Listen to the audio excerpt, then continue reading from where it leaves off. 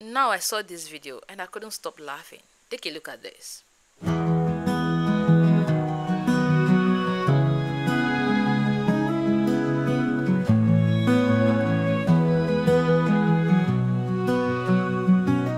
In the realm of love and life, I'm Chika here to guide, sharing wisdom, truth, and pride, with open heart and mind.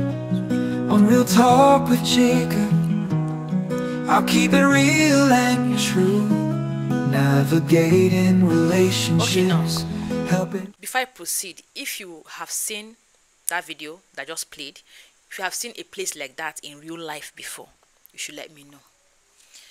Now, the first question that came into my mind was what if you are locking someone is that is already married?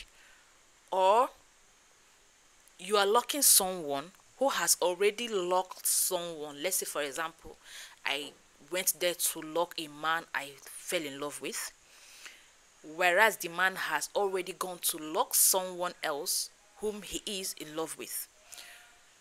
Or I went to lock a man I love. Another lady that loves the man went also to lo- to lock the man. What will now happen?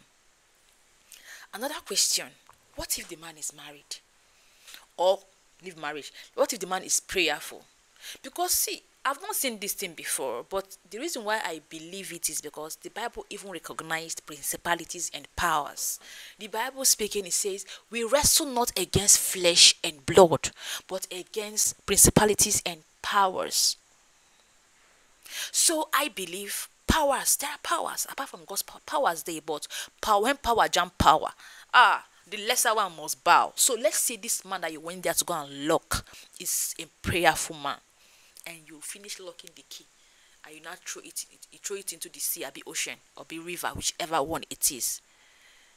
And it did not work. Then papi Watana grabbed the key. Shey it will not end the, spiritual husband. They will see somebody have spiritual husband but that's the one that gave them the keys to your heart. I don't even understand it. Ah jesus christ like don't tell me these keys are in millions and this is not even the first time i'm seeing this. This particular one is in south africa.